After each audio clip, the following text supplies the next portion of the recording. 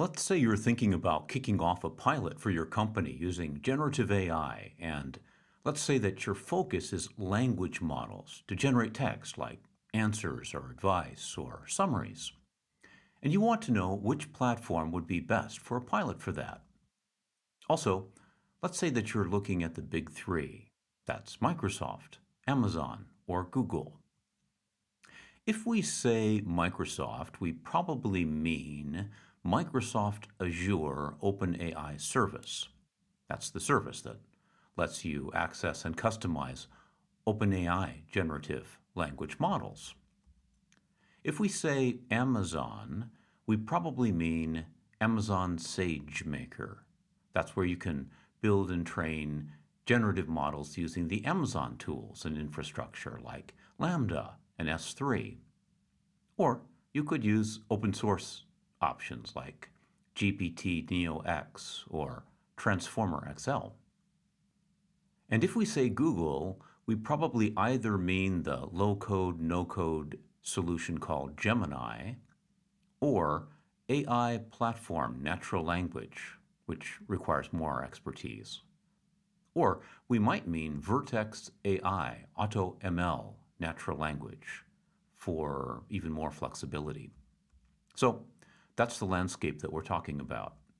Okay, of these, which one would be the best for your pilot? Well, let's start with that standard nothing burger answer. It's challenging to definitively say that any one platform is significantly superior. Each has its own strengths and weaknesses. Also, your needs may vary. Okay, perfect. So now we've checked that box by saying that, but you probably noticed that in doing so, I didn't actually tell you anything particularly useful. And while we're at it, let's check another box by asking a perfectly legitimate question. On what criteria should these three options be compared? And the standard answer is that they should be compared based on at least five criteria. One, capabilities and features. Two, integration and compatibility. Three, security and compliance. Four, technical expertise required. And five, cost, which, by the way, includes price and also other features like serverless architecture, for example, or scale to zero, things that can help to reduce the cost by not wasting resources. Now, let's remember that we're talking about a pilot at this point, not a full implementation. And in the course of doing the pilot, we'll probably uncover various important details that might be specific to our particular environment or to the structure and nature of our data or important details about our use case as the full scope gets better defined through the MVP and pilot stage. And some of these things we won't necessarily know in as much detail beforehand compared to our better understanding after the pilot is done. So in other words, before the pilot, our understanding of the critical success factors is more high level than it will be later on. So, can we use that high level understanding to make our decision? For insight on that, let's look at a short blog here on LinkedIn written by a solutions architect.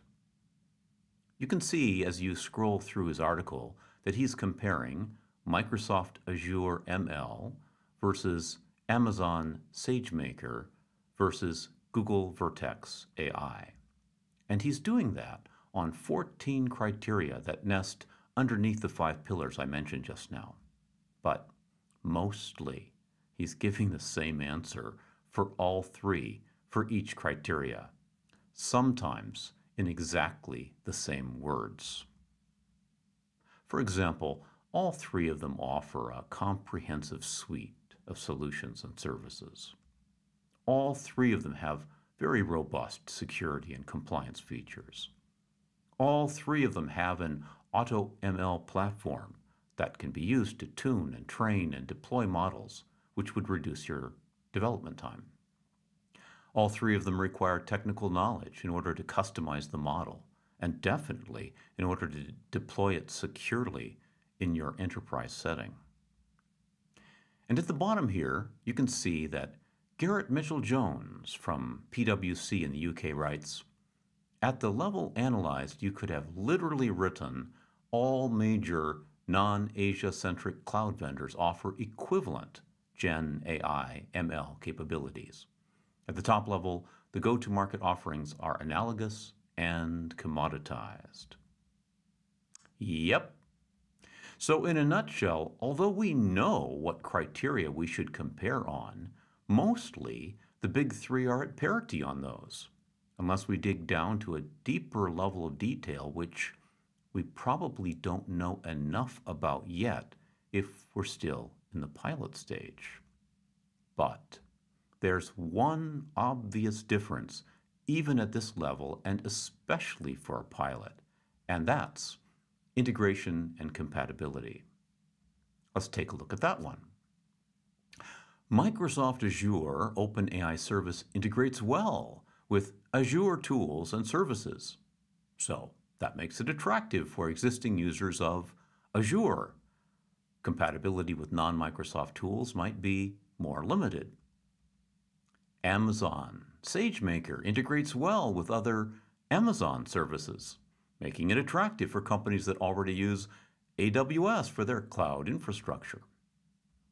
And the Google options I mentioned just now integrate well with other Google Cloud services like BigQuery and Cloud Storage, which would probably be relevant for existing users of Google Cloud.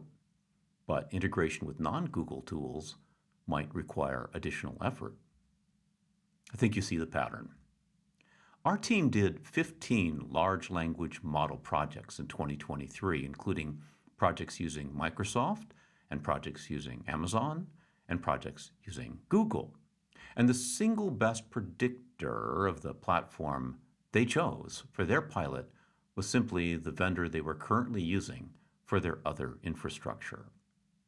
Which makes sense, despite the standard caveat warnings about avoiding vendor lock-in.